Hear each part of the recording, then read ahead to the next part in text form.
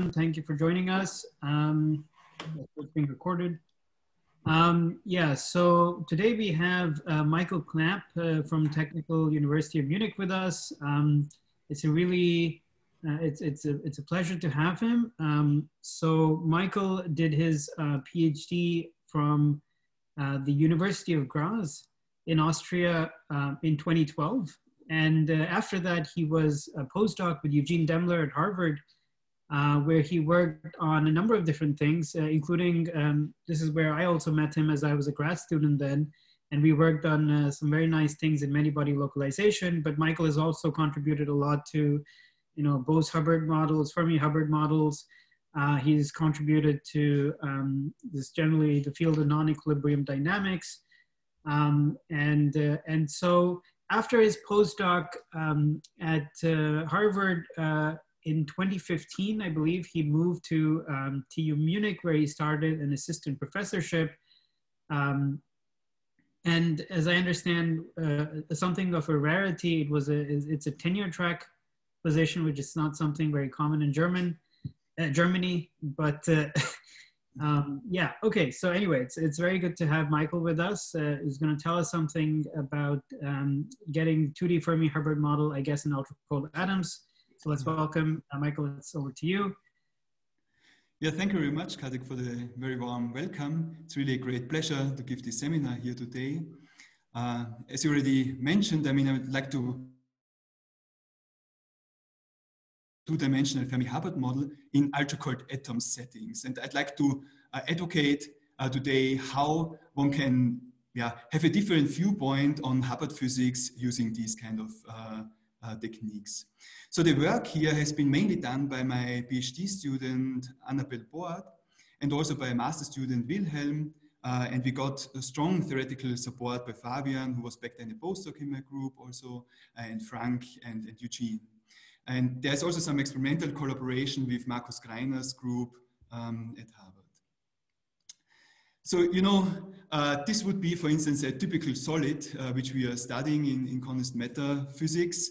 Uh, here's another one, maybe someone who is uh, more famous than the one on the, on the left-hand side. And you know what Harry Potter can do with this Philosopher's Stone is that it can elevate. But the same thing physicists can do with a superconductor. And I think as astonished as Harry Potter is on the right-hand side of the, of the figure here, when he's seeing his Philosopher's Stone fly, physicists are when they are looking at the superconductor, which is elevated above a magnet, right? This is because of the Meissner effect and because of vortex lines uh, trapped here in this type 2 high temperature superconductor. But they also have some other properties, which is that they allow for a lossless power transmission, which is also used as a technological application in, in, in some cities in Germany, for instance. In Essen, there's a one kilometer long power cable, which is superconducting. And in Munich, they are planning a 12 kilometer long uh, superconduct, high temperature superconducting uh, um, uh, power cable, which should replace or at least yeah, complement some of Munich's power grid backbone. It's kind of interesting because there are 20 million kilowatt hours lost in power just by dissipation through this backbone. So I mean, at least these are some numbers which can be compensated by, uh, by superconducting cables. Uh, so it motivates us to, uh, to think about that. Yeah, so of course, high temperature superconductors have been discovered about 35 years ago. So there is a long standing history and many, many people contributed in measuring the or determining the phase diagrams of cuprate materials, for instance. And we do know that it is indeed very complex. Uh, and the challenge from a theoretical perspective, I think, I mean, it's fair to say that uh, to find a unifying um, uh, theoretical description is really a big challenge uh, uh, of this field. So I like this phase diagram here, which Proust and Taillefer have been putting in their review, recent review a couple of years back, because actually it does not emphasize so much on the superconducting dome, which is just here beneath this dashed uh, line. It's also not emphasizing so much uh, this conventional antiferromagnet. You know, the antiferromagnet is just um, has a long range order of a staggered magnetization. Uh, this is kind of this, this phase here. And maybe before I dive in all the details of the phase diagram, let me also explain to you a little bit the axis um, here. So on the y-axis, we show temperature. So this would be hot temperature, low temperatures. And here um, on the x-axis, hole doping is shown. So zero hole doping means that we are at half filling. So half filling means that we have on average one electron uh, per site in our system. And we can think about these cuprate materials in such a way that they are layered structures of two-dimensional square lattices. Something like this. So, uh, so this is uh, uh, just for general information. And somehow in cuprates, when you look at it for the first time, you may wonder why phase diagrams are plotted like this, but typically hole doping is plotted to the right. So charge carrier density is reduced as we go to the right uh, in this phase diagram, okay? Good, so the conventional phases would be antiferromagnets, superconductivity, and maybe some density waves or stripes. But then there's a lot of uh, other things going on, which is very, uh, very, very exotic physics is uh, kind of occurring. Well, oh, sorry, wrong direction. Well, on the one hand, um, there are at very large hole doping, there are these Fermi liquids, which are dilute but strongly interacting electrons, and they possess, for instance, a resistivity which is scaling with the square of the temperature. On the other hand, when we reduce hole doping, then we enter this regime of the strange metal, and there one observes anomalous transport properties where the resistivity is proportional to the temperature. So there's one power less temperature compared to the Fermi liquid. And recently, um, this kind of behavior, this anomalous behavior and the resistivity has also been uncovered in experiments with ultra-cold uh, atoms. So this is the Princeton group by Waseem Bakr in this paper from 2019. They could measure uh, in the Fermi-Hubbard model with uh, finite hole doping, the uh, temperature dependence of the resistivity, and they saw that it is indeed linearly increasing. So there should be this strange metal phase uh, in, in uh, or is observed, let's say, in these um, quantum gas microscopes too. Big question here is, of course, what is the nature of the charge carriers? What are roles of, of other uh, co uh, uh, constituents of, of, the, of the system, and so on and so forth.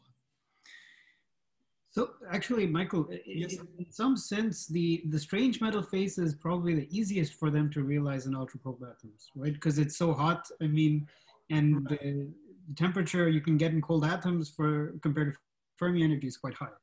Right. So actually, uh, this is absolutely right. So one would think that cold atoms are very cold, but for in terms of fermions, they're actually pretty hot. So when you look at this phase diagram, the experimentally accessible regime uh, in ultra-cold atoms is uh, maybe uh, a regime above this, uh, uh, certainly way above the superconducting dome, way above striped order phases, and above roughly in the regime which I was hedging now here. So what we can Right. This is also why I kind of chose this, this way of motivating this topic because I want to motivate that uh, these cuprates have very exotic, uh, not yet fully understand, understood uh, regimes in the phase diagram which are reachable with current technology. Right. So we are interested essentially in this regime of an yeah, intermediate temperature where the temperatures are below the uh, below the temperature of magnetic excitations or magnetic excitation energy, uh, but uh, but still hot in terms of a, uh, in, in, comparison to a, to a cold solid. Excuse me, if I can yes. make a, a, quick comment, is that uh, in the uh, in this high temperature regime, the linear resistivity comes from the temperature dependence of the compressibility. Excuse me. Yes. So in, in, some sense, this very high temperature regime is quite well uh, understood. What is, and you know, it depends who you talk to, but uh, some people try, you know, like try like like to call it uh, bad metal if you want, where you're above the yes uh, the Ioffe-Regel uh, limit. And the more difficult piece is, is really the low temperature uh, one, which, and, and then you can people talk about strange metal. So I, I would say it's a little bit not quite the same thing to talk about strange metal all the way from high to low temperature, although it's quite surprising that sometimes the slope doesn't change very much. Yeah. Yeah. So you say what, what I should actually call strange metal is somehow maybe when I blow away the superconducting dome by magnetic fields uh, and then find some exotic uh, properties. Is this? Uh... Well, as long as the compressibility is uh, temperature independent, I would say is the, and which is basically always the case, or you know, very slight temperature dependence in in solids, is the is the strange uh, strange metal. But in this uh, in this cold atom uh, experiments, the compressibility becomes temperature dependent, and in fact gives, you know, with the Einstein relation that uh, conductivity is equal to uh, compressibility times diffusion constant.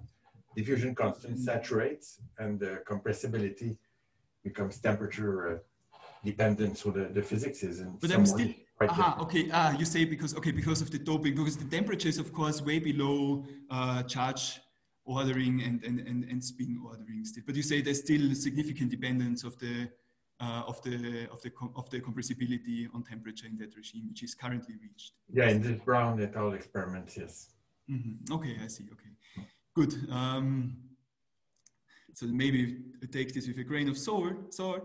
Uh, and then maybe the other uh, regime here uh, would be this pseudo-gap uh, regime where uh, very nice ARPES experiments, uh, yeah, maybe already two decades ago, have shown that one gets very interesting uh, response, which looks a bit like an arc. so this is this colored response here. So instead of a a closed uh, surface, Fermi surface, uh, they only see a Fermi arc. And the question is, is this uh, due to the fact that maybe quasi-particle weight is suppressed here at high momenta, or is this due to some other other, other reasons, right? And, and some people put forward also the idea that in that regime, uh, an electron may fractionalize uh, maybe into a spinon and into a, a holon or a chargon or something. Like this. So there are many, yeah, okay. Then, of course, I mean, there's a long-standing history. I mean, there are many, many proposals for effective descriptions of the individual regimes here in the phase diagram. But I think it's still fair to say that somehow uh, it's not quite clear how to benchmark these, these uh, theories and how to really assess uh, what is what is going on microscopically. Good. So now let me go uh, to these quantum gas microscopes. So it's widely believed that some of the essential uh, physics of this cuprate phenomenology, which I've just been introducing to you, that this is captured by the Fermi-Hubbard model. The Fermi-Hubbard model describes fermions of two species which are hopping on a lattice. These fermions can be now electrons with two spin states, or they can be fermionic atoms, for instance, lithium atoms, uh, where two hyperfine states of the lithium are used uh, to, to kind of encode the two species. I just color them red and blue in this picture down here. And okay, the atoms can tunnel from one lattice side to another one. This is given by the tunneling amplitude T or hopping. And then we have screened Coulomb interactions when two different species are sitting on top of each other on a single lattice side, uh, then, oops, sorry, then um, then one has to pay a Coulomb energy essentially. And this energy in the ultra-cold atom settings is widely, uh, widely tunable because of some techniques from, from atomic physics, which is called Feshbach resonance essentially. So you can be tuned from small to large essentially. The hopping can also be independently tuned by the, the depth of the lattice and well, the, um, so this Hubbard model can be faithfully realized uh, in an ultra-cold atom setting. And that is very useful on the one hand, because we don't have an exact uh, solution to the two-dimensional Hubbard model, an exact analytical solution, but also numerical techniques, exact numerical techniques, I would say. I mean, there has been a lot of progress, of course, in developing numerical techniques, but an exact numerical solution is also not uh, available in that regime the standard candidate would be quantum Monte Carlo, but there uh, we have the sign problem. DMRG results uh, suffer from various entanglement problems, and uh, results are also some extensions of DMFT which capture quite a lot of correlations, but are also not an exact uh, description of the system. And the, the, advantage here is that the ultra-cold atoms uh, settings, they're really faithfully realizing the Hubbard model on all energy scales. So this means that we can now, compared to solid state experiments, also look at short distance physics, which normally is not universally uh, captured because it's in high energy property, it's not universally captured in a, in a solid. And this really kind of, I think, revolutionizes a little bit the way of how we can think about the, the problem. So let me just start out by explaining in a bit more detail again what would happen if we start out at half filling. As I said, half filling means this uh, one atom per site on our square lattice. And I also assume that we have zero magnetization, so there are as many red as, as there are blue atoms. Then at height, and, and, we're always interested in the limit of large U, right? Because the rays, they have strong interactions. So we, we want to have U, the interactions to being bigger than the bandwidth or yeah, something. And so at high temperatures, entropy wins. So arbitrary configurations uh, are kind of contributing. You have something like a yeah, metallic type of state. When you decrease temperature, what happens then is that it's favorable to put one uh, charge, one fermion per lattice site, because then you avoid uh, paying the, the interaction energy U, right? So this is now for temperatures much below uh, the hopping. But then we also do know that there's an additional gain of energy due to quantum fluctuations, because what we could have is that when anti-aligned spins can lower the energy by virtually hopping on a neighboring site and back or the other way around, right? So this is the so-called phenomenon of super exchange. Uh, and this has a time scale of hopping squared over u. It's quite easy to understand just from perturbation theory. Matrix element squared is second order perturbation theory, right? The matrix element squared divided by the energy which we have to pay in the virtual state. So it's hopping squared divided by u. And so at very low temperatures, we get also spin order. And of course, here, this is very oversimplified, the picture which I have, because I'm drawing here a Néel state, but we do know uh, quantum mechanic fluctuations lower uh, the, uh, the, the, energy of the Néel state, um, which are very important. And also, we do know in, in the strictly two-dimensional case, long-range order due to Mermin-Wagner theorem can only be attained at strictly zero temperature. So at finite temperature, we will always have a finite correlation length and of course, because it's an SU2 symmetric uh, point, uh, we also don't have a BKT scenario. So it's just a uh, finite correlation length at finite temperatures. Right, so the correlation length of this antiferromagnetic correlation indeed diverges with decreasing temperatures very strongly. It diverges uh, exponentially with one over temperature. And this has been, was one of the first experiments which, uh, which really probed correlate, strong correlation physics, I would say, in these quantum gas microscopes. So here I show you the temperature of the system as a function of the hopping amplitude, T. And you see they can go down to about a quarter uh, uh, of, the, of the hopping in temperature, but not much lower. I mean, this is kind of the, the, the boundary what, what they have. But I also like to argue that it's not such a big of a deal because when you look at the correlation length, then it starts at that regime, it starts being on the order of 10 lattice sites. And it turns out that these ultra-cold atom settings, they are actually pretty small. They're about yeah, 20 by 20 or something like this. I mean, it's already too much. I mean, it's like about, uh, so it's like a radial object with about 100 sites. So in that sense, because of finite size effects in these quantum gas microscopes, it looks as if there is antiferromagnetic order across the whole system because the correlation length exceeds the length uh, exceeds the length of the system, right?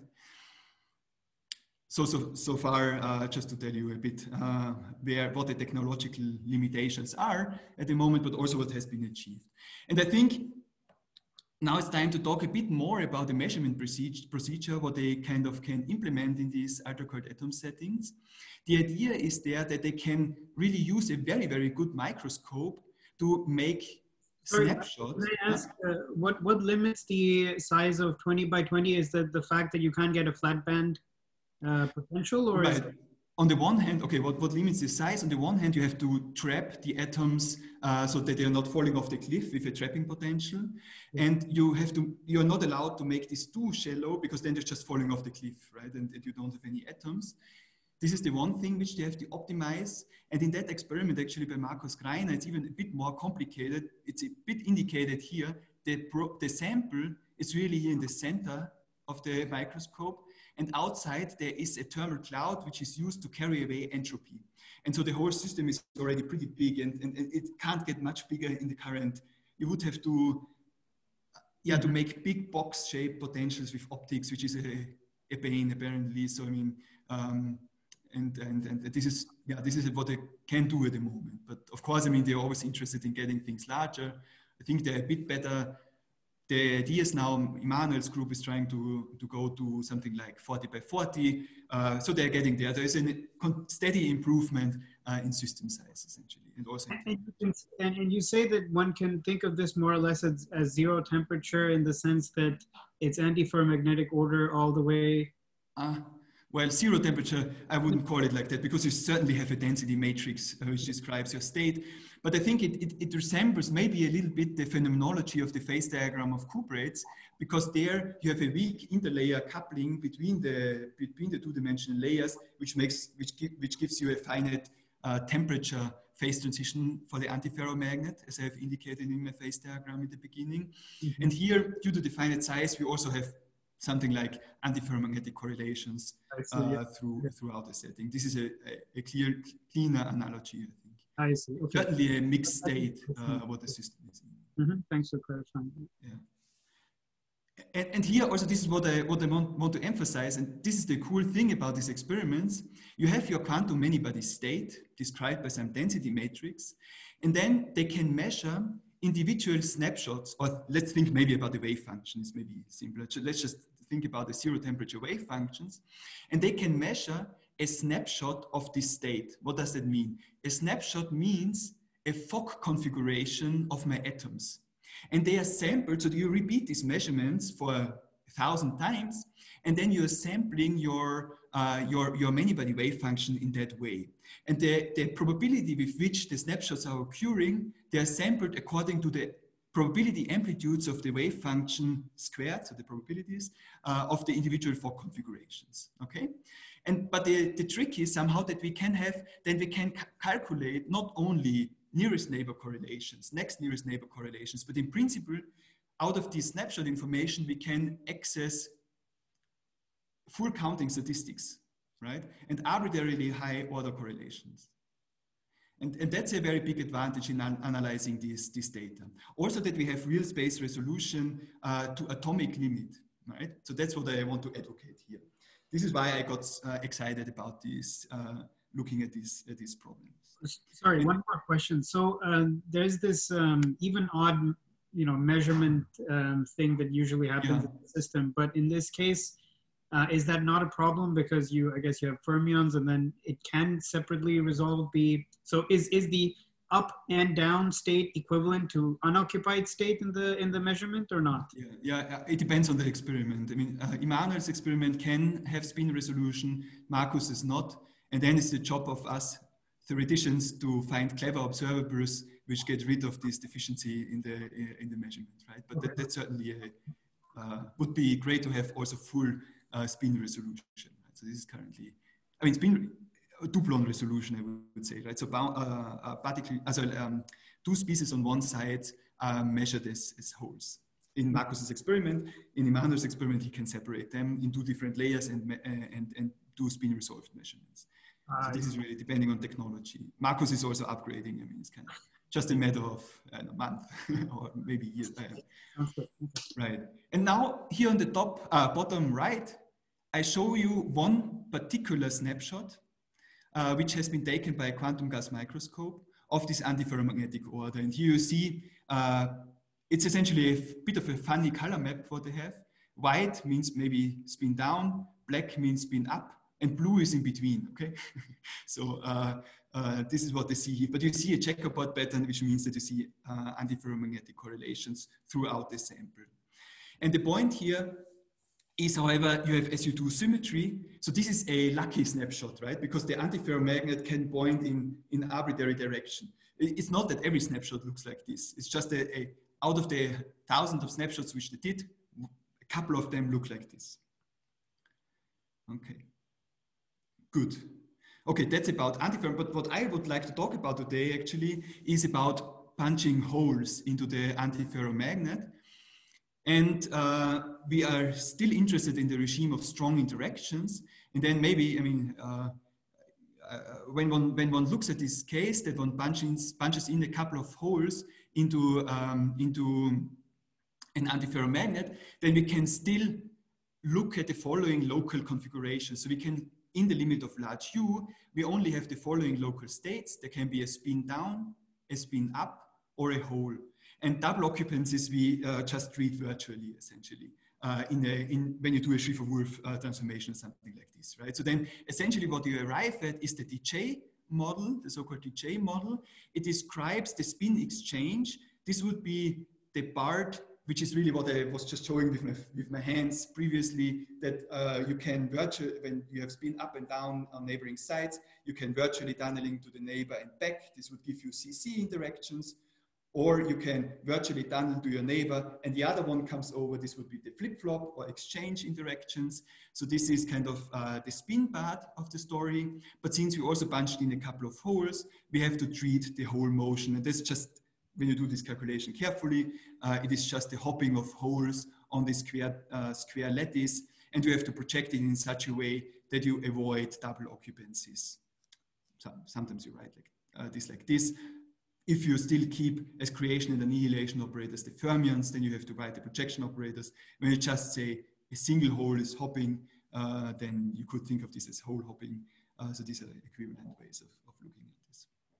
Okay, but that's the Hamiltonian and the model which is realized in, in the experiment. And this is the model which we want to uh, study in a bit more detail. But before we go to the full-fledged 2D uh, case, I'd like to give you some intuition about the 1D problem because it's significantly simpler and it carries really nice physics. So the idea is that we have a, uh, a, charge, a charge configuration and somewhere we punch in a hole. And what happens there is actually, you can think of this hole in the following way, that it fractionalizes into a spin excitation, a spin-on, and into a uh, chargon or a holon. Why is that so? Because let's look at, you know, maybe you've heard about it already. This is the uh, famous spin charge separation in one dimensions. So spin excitations travel with a different velocity than charge excitations in one dimension. And let me give you a simple uh, explanation for that. So here I have a configuration.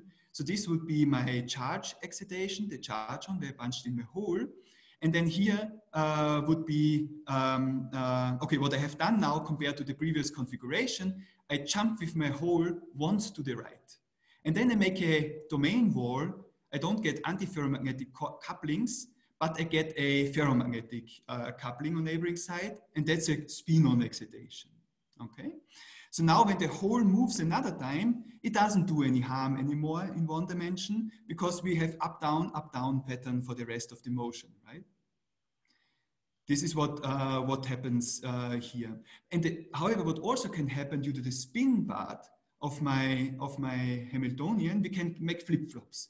And that leads to the hopping of the spin-on but it stays on, on the same sublattice uh, as, the, as, uh, as, it, as it was. So this is kind of this yellow point here.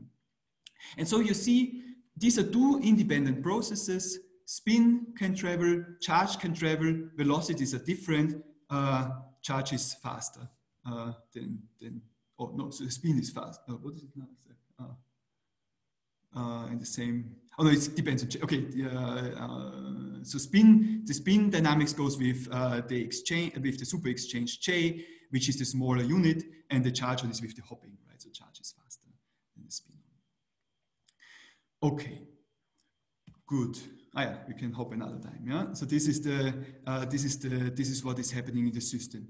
And here the important part, just to emphasize it again, there's one spin defect, and the rest I mean, doesn't really care, right? The hole can just hop through the system and there won't be any additional defects. And if you want, we can call this distance between the uh, chargon and the spin-on as a, we can call it string. But the point is there's been charge separations. The strings can become arbitrarily long and uh, spin-ons and charge-ons are not bound together. They're just deconfined. We can call it, right? Because they can separate without any additional energy arbitrarily uh, far from each other.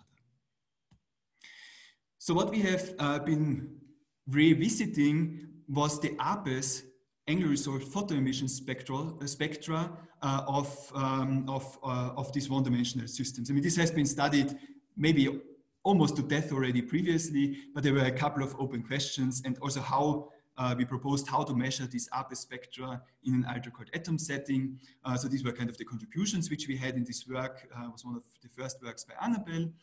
And so she evaluated here the single hole spectral function, which is, yeah, yeah, you, you, may, you may know what this, this is. So it's the expectation value of uh, creating a hole in the ground state squared, and then you have to count, I mean, uh, which kind of energies are matching, where can I, where can I add a hole uh, essentially to the system. Yeah? And this is then still a thermal state uh, of, of our system. In some sense, you can think about this as Fermi's golden rule if you want. This would be, again, matrix element squared, and this would be the phase space factor from Fermi's golden and a typical spectrum is then looking like this.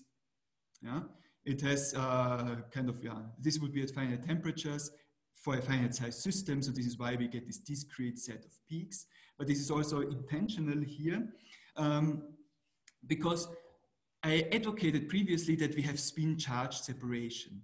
So what that means in turn for the spectrum is that my spectral function, A of k and omega, can be written as a convolution of a spinon contribution and a holon contribution because they are independent particles. So it's a convolution in, in, the, uh, in, in, in, frequency and momentum space, right? And uh, yes, okay, this would be the convolution just written out. And this indeed works because when you look at the spectrum above, this is sometimes referred to as spectral building principle in these one-dimensional systems. We get a chargon BART with a big bandwidth the bandwidth is t, and then we get a spinon BART, and the spinon has a small bandwidth of j. Okay, and you can see that there are many, many spinons, kind of, you can add them to each chargon, and then you get the, the pattern uh, which we find in, in exact diagonalization studies. So far, so good. So what was sorry, Michael, th this would depend, the, the, the fact that you measure a convolution of a spinon and a holon would also depend on what kind of probe you're using. Uh, if the probe is unable to, say, flip a spin. Oh no, what we really do is we really think of shooting out an electron uh, out of our system, and this creates a charge and a spinon simultaneously. And then, right. however, we know from the kinematics of spinons and chargons that they're doing their independent thing, so uh, the result for the spectral function, which is ultimately measured in the experiment, is a convolution of the individual subbands. Right, right. Because of well, generally, though, if you if you had a, a, spin, you know, selective probe, then you could just measure the spin on, and that's what you would do. Mm, ah, and that's important now. A spin selective probe can only flip a spin. Right. And flipping a spin creates at least it creates two spinons because it's a spin one excitation. Right. And this is the, the unique thing about ARPES, that you're creating a spin a half excitation plus a, a, a, charge, right? And that's really what I will dwell on a little bit in the second part of my of my talk. Okay. Mm -hmm. So, excuse me. So the, the formula you give for the, the whole uh, spectrum is not the way you measure it, right? The way you measure it is just by looking at these pictures you showed on the previous page, or Ah, okay, how we can measure that in a quantum gas microscope? Right. Yeah, okay, there one has to, okay, there, there are tricks. I mean, you can use radio frequency uh, spectroscopy to absorb into a third level. This would be the easier trick. This has been actually also done by Waseem Bakr on the attractive side of the Hubbard model, not on the conventional side of the Hubbard model. And, uh, and, and, and, and another way would be to really use a Floquet type scheme of lattice modulation to make this transfer um, uh, of the states. So this is what we have proposed in this, in this setting. It has not been realized yet, our proposal. Thank you. Mm -hmm. Okay, good. So what I want to emphasize here, however, is that here there is spectral weight at the spinon branch, but if I would follow the spinon, there would be also a branch over here, but it's invisible, okay? And that was actually, I mean, people tried to answer that in various ways in previous studies, but I found it not very convincing. And so we, we thought, I mean, let's just revisit that problem again and look at Xiaogang Wen's book and uh, do a, a, kind of a, make a spin liquid mean field ansatz because you know a Luttinger liquid is nothing else than a spin liquid. Make this ansatz, uh, create, write down a parton theory for this for this approach where we have a creation operator for our chargon where we remove our spinon. This is essentially what the annihilation operator of a full electron does. So we separate this degree of freedoms, perform a mean field calculation, and then voila, it turns out we get a Fermi sea of spinons as the ground state. And now it becomes very clear why we see this behavior from above uh, for our spinon dispersion. Because um, at low temperatures, we really have a sharp Fermi sea here. There not much, there's not much going on. It's a very sharp edge, what we have here. Uh, and therefore, this means that uh, we can only occupy, we can only excite, we can only shoot out holes out of the occupied Fermi sea. So we can only get spectral weight for wave vector below pi over 2, where my Fermi sea of spinons is occupied. Above pi over 2, we don't see any weight. This is because there is simply no spinon uh, at, these, uh, at these energies. Okay, and this is uncovered actually by this, uh, by this, by this simple parton mean field ansatz.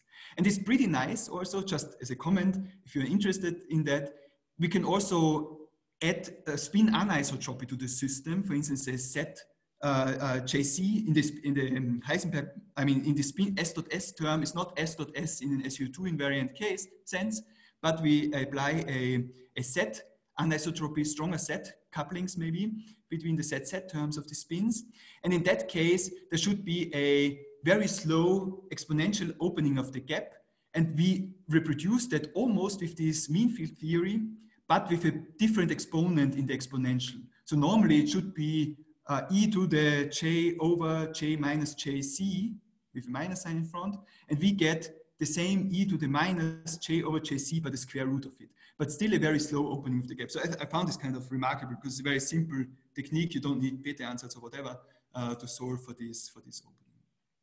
But that's just a side comment. Anyway, I mean, I think with that we could understand somehow uh, what is, uh, why the spectral weight here is missing at the, at the higher, at the higher moment.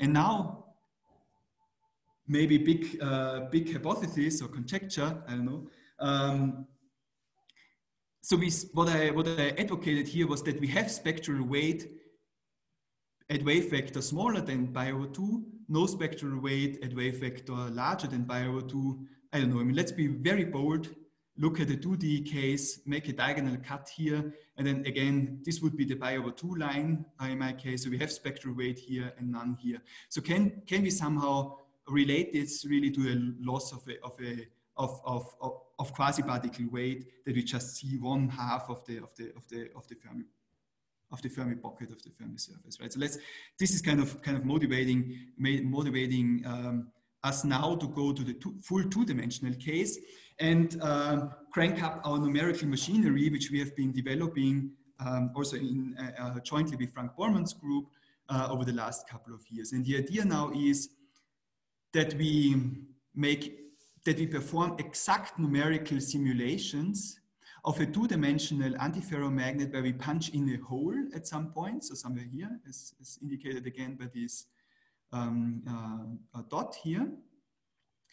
And we want to exactly solve for the time evolution with the caveat that we can't do truly two-dimensional systems, but rather what we are solving is cylinders um, uh, uh, of the system. Of course, we have to be very careful because we do know from Haldane's conjecture that there are even odd effects and whatever, but we can uh, do this, the, uh, the study here of the dynamics carefully, uh, look at convergence of the properties with the cylinder circumference, with the properties, with the, with the bond dimensions of our matrix product. Let me not go into details. And this is what we have done uh, as good as we can. Uh, and, and, and, and the result of it is shown here uh, in, in this plot on the right hand side. Before I go to the spectra, I'd like to uh, talk about uh, real-time evolution of the hole. It's complementary. The probe is not one-on-one -on -one, to the same thing because in the ARPES spectrum, we are projecting back to the one-hole states. Okay, this is why the, the evolution of a hole has different information. It's not the same. It's not precisely the same, uh, the two, two kind of things. Right. So what we are measuring is the Manhattan distance of the hole uh, from where it has been initiated as a function of time. So what does the Manhattan distance mean? You know, it's just this distance which was motivated from, uh, can I draw? No. Here, this is what I have to do. Which is motivated from, uh, from the roadmap of New York. So um, essentially a Manhattan distance of one is this, two is this, three, four, five, six. Uh, oh no, this is not right. This would be maybe the shorter distance of that. But uh, we are just counting, we're not counting the Euclidean distance, but we are counting uh, distances in straight lines. But I mean, it's all the same. I just need this for later, later convenience um, that, we, that we count bonds as distance instead of, um, instead of uh, Euclidean distances. But whatever distance measure you like more, you can think about. So let's inject this hole uh, and look at the time evolution of this hole in this two-dimensional setting. Looks a bit messy on the first side. So these are three different curves for different ratios of hopping over super exchange. And remember, super exchange J is 4t squared over u. So this would just mean that we are changing the interaction strength uh, in our system. So these are a couple of values here which we're looking at.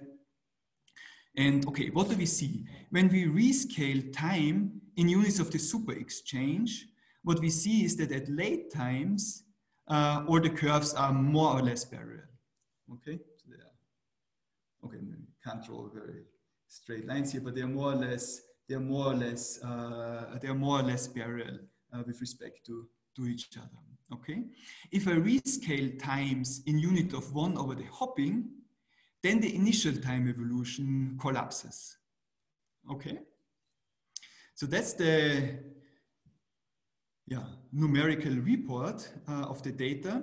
And maybe because, I mean, you might not be very convinced, I mean, that I say these curves are parallel and they are linear growing in time. This is what I, I want to emphasize, but we are running into finite size effects actually here. But there are other things than just the hole motion which we can look at because the hole is the fast object in our system because we have strong coupling and the spin is the slow motion. So J, the super exchange is small and hopping T is large. This is the limit what we are looking at. And what that means is that when you look at the distance of my hole, it propagates away from where I punched it in in, in, uh, in the beginning very quickly, and then seeing later increase may be difficult. And so what, what we can also do is we can look at the energy density correlator of the spins. So what I mean is like S dot S correlators on neighboring sites and see how those are propagating up through the system. That would have the advantage that we don't have this fast hole, which is already all over the place uh, in this kind of probe. And when we do that, then we get this kind of uh, result. And here we nicely see after some transient, we see a, I would say, pretty good linear growth of this energy density of spins. Um, and we can also do this for different J's. I have not had in this, this in this data, but these are all parallel curves, uh, essentially for the spin correlations. At some point, we get to finite size effects as usual. I still show, show them to really show the limitations of what we can calculate, right? But somewhere there's a bending over. Okay, so, ah, okay, well, yeah, so, okay, so we have these two regimes, one regimes which collapses with one over t, one regimes which collapse, collapses 1 over j, essentially. So what is the, what, what could be a potential explanation of what is going on? So the, let's take our spinon charge on picture from before, from the one-dimensional case. When we now think about it in that way, and we do know that we have the fast chargon and the slow spinon, what would happen? The fast chargon is moving around through the system, and it, when it does so, it exchanges with the spins. For instance, here I show you a pattern where a charge hops two times to the, or three times, one, two, three times to the right. So what happens is that I make my, uh, here's my spinon defect. This was the first one where I have three dangling wrong bonds, but then I carry along with it a, a string of defects actually, because we are now not in a one-dimensional chain, but in a two-dimensional chain, and there are defects uh, with respect to the upper line and the lower line. Okay, so it costs me more and more energy when I take this classical picture to depart my chargon uh, from the spinon. And the energy increases linearly uh, uh, with the distance of this string, and it has an energy prefactor, uh, which is given by the super exchange coupling. Okay, so we have a competition. Of course, the hole wants to delocalize because uh, it uh, because because it gains kinetic energy from that, right? But it also has to pay energy from this linear confinement from the string, and that means that we have an emergent length scale of the system, right? We have two energy scales, we match them, we get a length scale out. So the holon or chargon, these are used synonymously. I don't know what the better term is. Some people prefer holon, some people prefer charge. And so uh, there will be a typical length scale of this object, how far it can depart. And the point is also, let's think back to our quantum mechanics course. In the strong coupling limit, what we can have is actually we can think about the problem in a Born-Oppenheimer way, because we have a large separation of energy scales. The holon is really moving like uh, very widely around the spinon, and then slowly the spinon will start uh, to, uh, to propagate around by some spin flips, okay? So this picture has actually put forward by Beran, Poilblanc, and Laughlin, yeah, decades ago, and has been worked out in much more detail by Fabian uh, during his postdoc with Eugene. So this work is the one, if you're interested in how you can apply that uh, to make uh, direct theoretical calculations, this is the work to look at, okay? So we apply, so what is the idea then now? Then the idea would be my quantum many-body wave function consists of my, uh, of my, my spinon, which I have created, and I'm looking at now at relatively short times, and then the uh, chargon is moving around. It's moving around in different uh, ways, and we get the superposition of these different configurations, right? It can be upwards, right, just upwards, upwards, left, or whatever, I mean, uh, thing the, the, the chargon can do. And with that, it, it, it kind of dresses the spinon. And in, in some sense, it's like a Polaron picture, right? Because we have now uh, the spinon, which is dressed with some fluctuations from the from the uh, from our chargon, which is which is dangling around. When you average, you get something like a Polaron, Polaronic effect, if you want. So there's many terminologies. It may be a bit confusing, but I hope I I keep this uh, to a limit. But now I advocated so much that we have these quantum gas microscopes. So what can we do? We can make a picture of our wave function. This is this checkerboard, which I'm showing you here. Now, this is of course all idealized, but this is what we do, and this is the philosophy here. And when a string now, a string is now indicated, so I punch in my hole here, and my hole moves one step to the right, two steps uh, to the bottom, one step to the right. The new spin configuration which I arrive at is kind of what I draw here. Now I can, can subtract the bare checkerboard and I find the string. And that's the idea now, right? We can take snapshots from a quantum many wave, many body wave function, subtract the, the checkerboard pattern, extract strings, and see what is the distribution of strings which are attached to the hole. Is this easy to do when uh, the spins are, I mean, not in the z direction or something? Precisely. I mean, this is precisely the caveat. It's not an Ising model which we are looking at. We are looking at SU2 invariance, but uh, still, uh, okay. Uh, it turns out that you can faithfully detect strings in there. We can also simulate it in some sense by taking Heisenberg data, punching holes, draw strings, right, in the, in the horse according to a probability distribution, and then measure in that way uh, whether we can recover the probability distribution. And it turns out that, that due to SU2 invariance, we will get a constant background. Uh, and on top of that, however, we can rather faithfully, by some clever algorithms, it's a bit more complex than what I'm showing you here. Uh, but in that way, we can extract. Yeah, I guess it's quite complex. Yeah. and extract string patterns. yeah. That's the cool new thing. Right, okay, I mean, we, cool. it's a new way of thinking about, uh, I would say, the structure of the many-body state, because yeah, because we can have this real space uh, information kind of hidden in the in the. Well, mm -hmm. okay, I'm pretty slow today, but maybe I mean let's um, not be too fast. Uh, rather get things across clearly. So, so actually, uh, maybe it is good if you um, end up, you know, finish up in five minutes. Is that possible? Yeah. Okay. I mean, we just have to toss away a couple of things, but that's fine. Maybe let me let me finish one thing in a very pedagogical way and then I rush uh, uh, through, the, through the rest of your talk. Just uh, kind of give you a nice insight. Right, so here, all what I want to say now is what we have in our system is we have free chargon motion, which creates the string, but then confinement sets in because of the linear confinement potential. This would lead to a saturation. And then there can be a free center of mass motion by spinon dynamics because these, those are of course not stuck completely. And this is what we conjecture the whole curve in the dynamics would be. But what we can also do, we can sample snapshots from, from our matrix product state. This is also possible with some techniques. And then we can measure string patterns out of that. And from there, what we find is indeed that we see an increase of the string pattern, but then it quickly saturates the average of the strings. And that's precisely what I said. At that point, confinement sets in.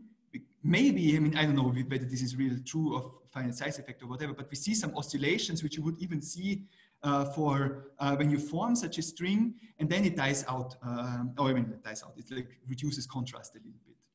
Okay. And we can also then compare this to a full-fledged analytical theory, no fitting parameter, which puts in these ingredients which I've been presenting to you.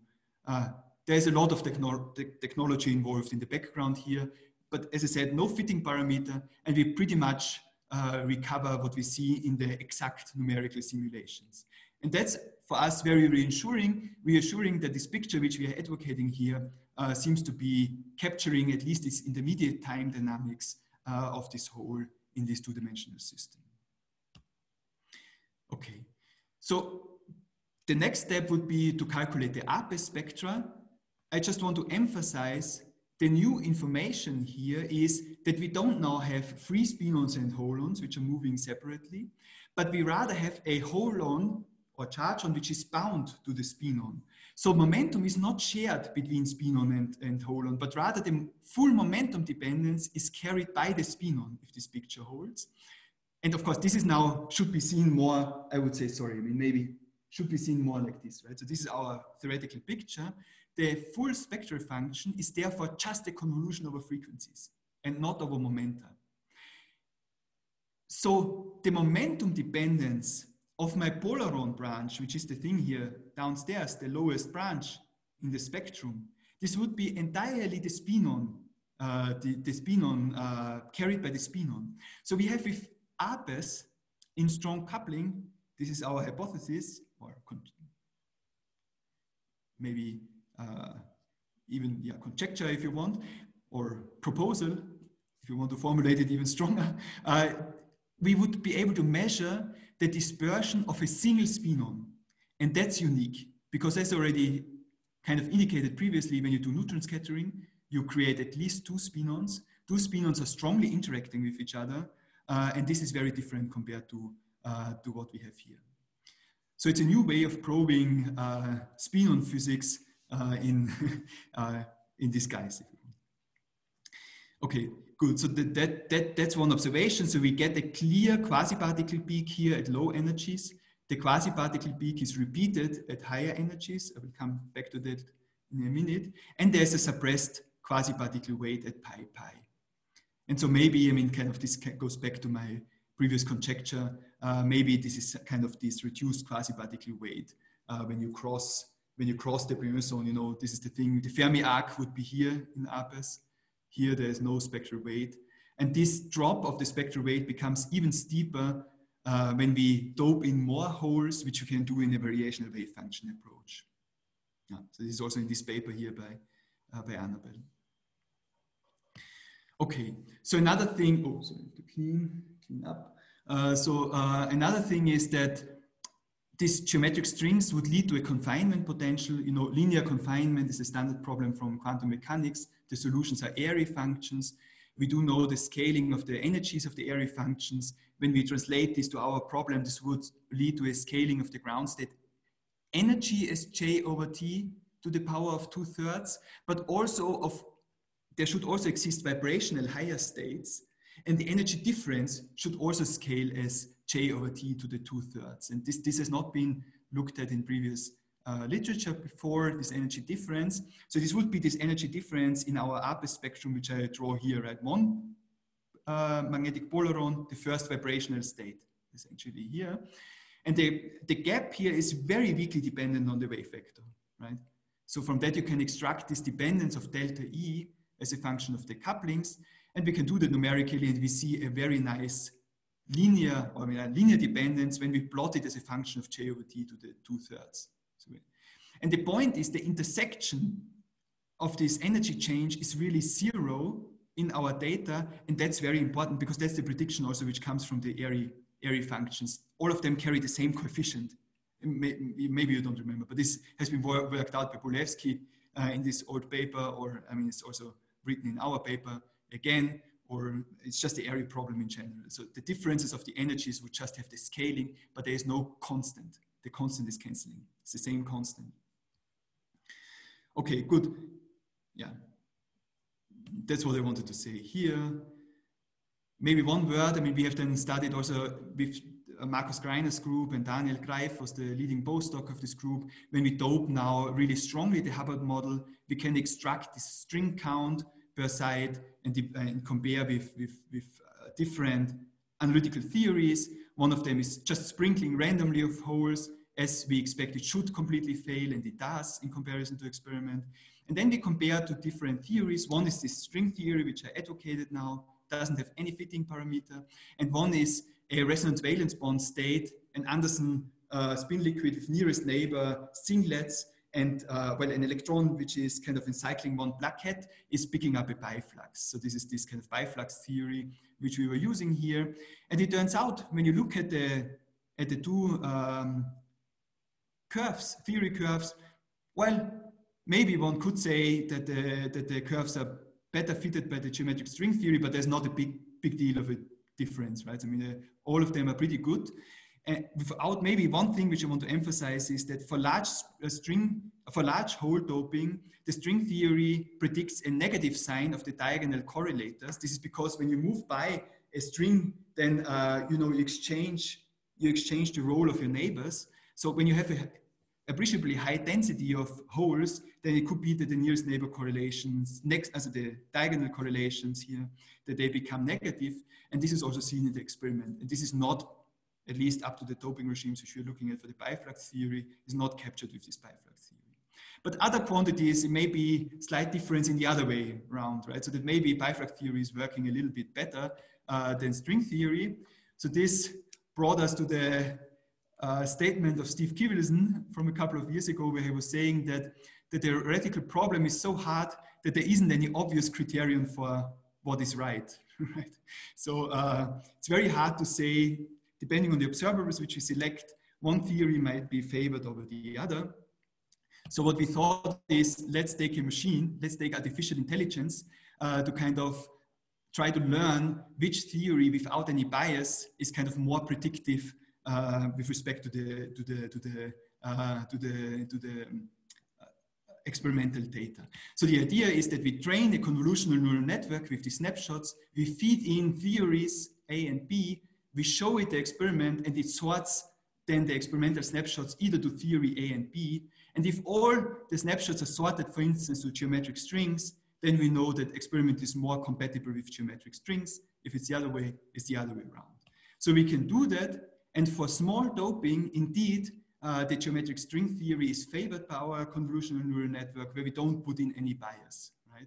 Up to 10% doping, say, uh, we see some clear um, advantages of uh, geometric string the uh, theory over pi-flux theory.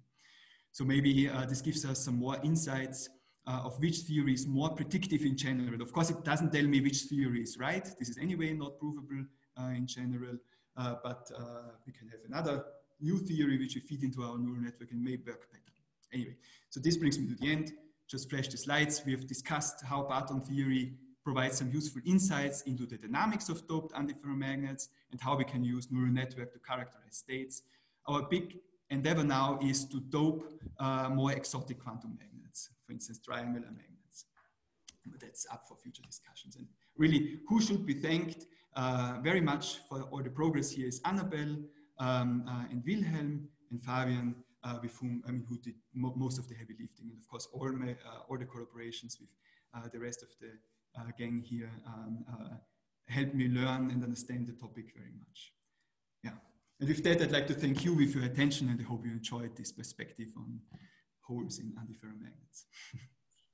Yeah, uh, thank you, Michael. Uh, that was a, that was a very nice talk. Um, so we are running late, uh, so maybe if people have some pressing questions, they can ask now, and maybe um, you can talk to Michael. Uh, he's indicated he's he has some time to talk between 2 p.m. and 3:30 p.m. So anyway, uh, are there any questions?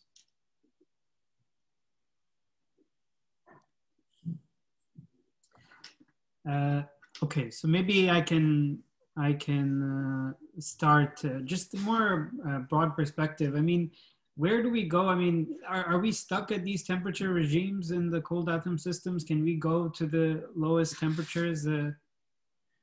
well, I think there are ideas around how to make the system even cooler, but the point is somehow it's uh, tricky, but it will be done over, over years. I mean, I don't think, I mean, whether we can really reach so low temperatures that we see uh, charge ordering, stripes, superconductivity is an open question. But uh, uh, certainly, I mean, people have not thought that they could reach even temperatures below the super exchange, right? And now it has been reached uh, after a couple of years. And so I think there will be steady progress uh, toward further cooling the, cooling, further cooling the system uh, down.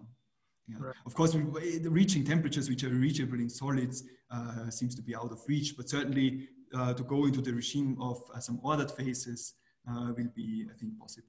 And also larger systems is certainly on the way and spin resolution and those things, they're all, all on the way. I think there is a lot of uh, development uh, in various groups worldwide in these directions.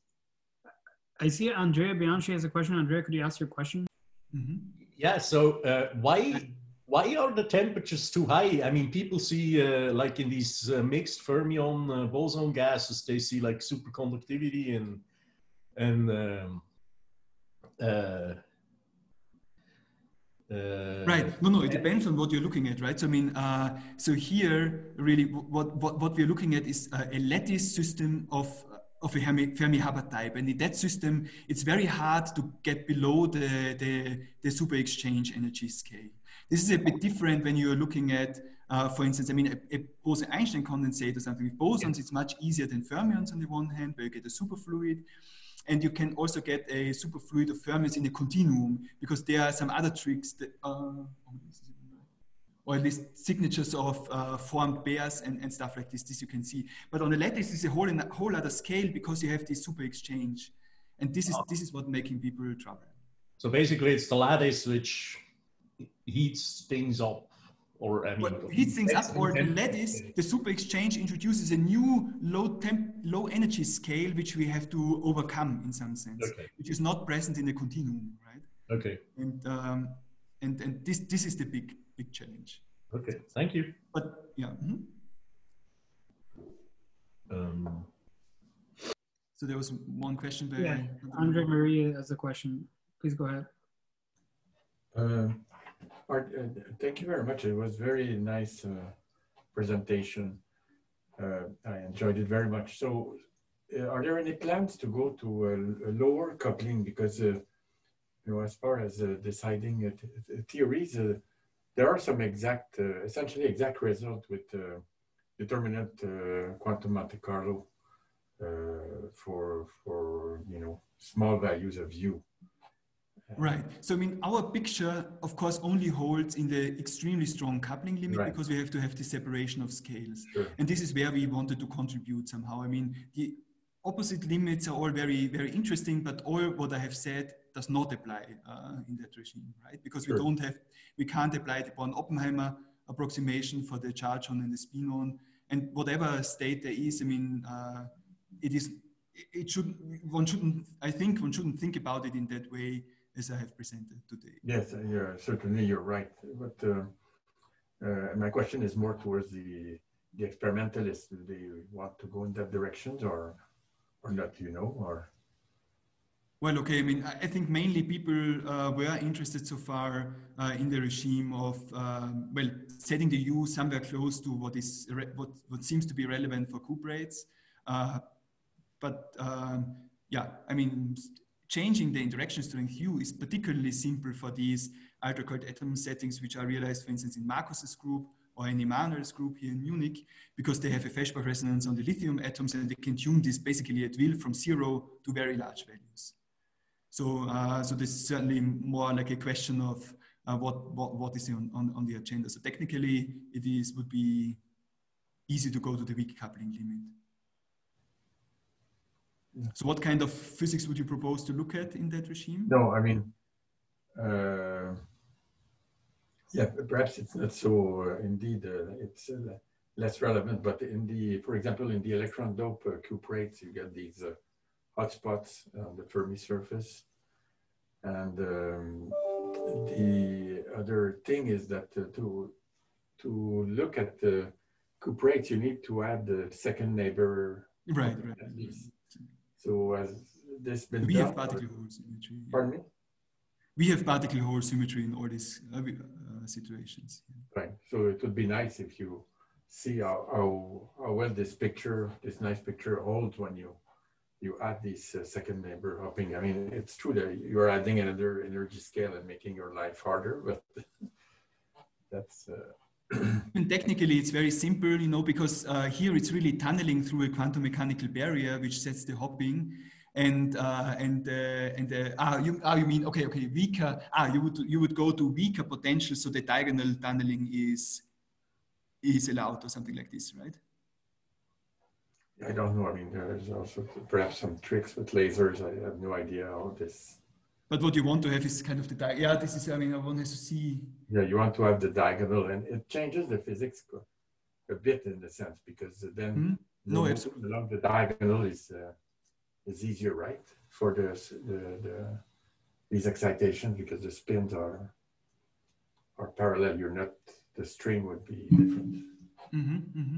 No, that's certainly a bit different physics, and I'm not quite sure whether you can uh, realize that easily because you know the the idea um, is that you have a, a cosine standing wave a potential in two directions, which forms you these egg box uh, shaped potentials, and for that ge- getting a tunable and appreciably high uh, diagonal hopping is is very hard, I think. Okay. Uh, maybe there are some some tricks uh, which one could think about. But, but here, I mean, we go more into the direction of Occam's razor and say the Hubbard model, I mean, is the minimal thing which captures, captures some of the essential physics. And I think eh, various aspects of it are not yet understood. And once we understand that, we can map it back to the cuprate problem and, right. uh, and, and, and, and, and, uh, see what the differences are, which sure, certainly yeah. are yeah. very important. No, I agree with you. Yeah, thank you very much. All right, so I guess let's thank. Uh, I think there are. We, we should we should now uh, adjourn. Uh, so let's thank Michael again uh, for his very nice uh, presentation. Um, thanks, Michael, and bye bye. See you later. Right. bye.